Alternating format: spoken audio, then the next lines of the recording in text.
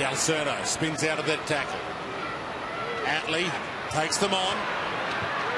Pops it up to the hot spot. Lindsay Thomas fell and fell nicely. David it to Nahas. Bangs it on the boot.